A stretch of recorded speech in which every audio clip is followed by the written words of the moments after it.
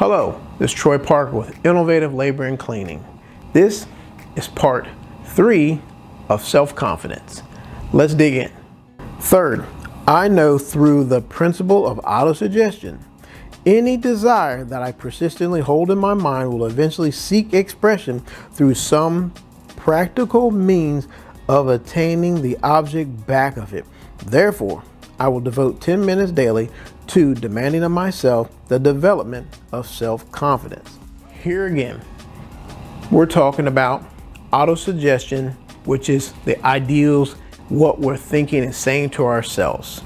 Making sure we're picking things that we want to manifest because it's clearly saying, based on the law we mentioned before, the things that you constantly say to yourself, negative or positive, will manifest themselves over time.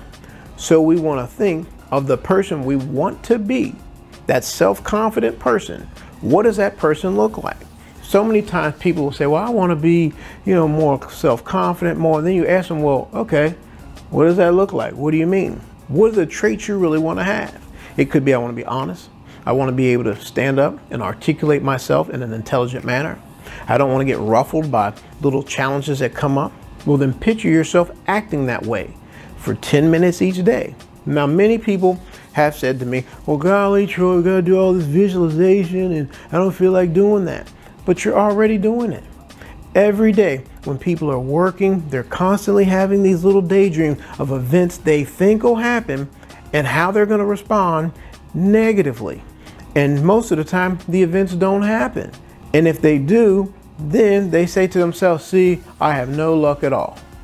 My thing is, why don't you concentrate on something positive you want to manifest? See yourself as that type of person, acting as that type of person would act. Like they always say, you have to be the change you want to see. And this literally is true. So to be that change, you have to see yourself acting in the way Many times I'll hear some of my male employees talk about their mate. And they'll say, oh, that woman don't, she just don't never, she don't never do this, or, or she just won't never do that. And I always ask them, well, okay, what do you do? And I'll be well, I don't, I don't do nothing. I don't do, I ain't doing nothing for her. And I ask them, well, you have to be what it is you want to attract. You can't be one way and expect you're going to attract something that's totally opposite of you and they'll just look at me. But over time, when they think about it, they'll say, hey, you know, that made sense after a while. Then you see them start, you know, getting off work, buying some flowers. Then next time you talk to me, like, you know what? She cooked me dinner the other night. And, and you know what? We're talking better. The whole key is first, you have to change yourself. Then everything around you will change. And how do you do that? First, by seeing yourself being the type of person you want to attract. I hope this helped. And as always, listen to this a couple times and please share. And remember, only you can make your life matter.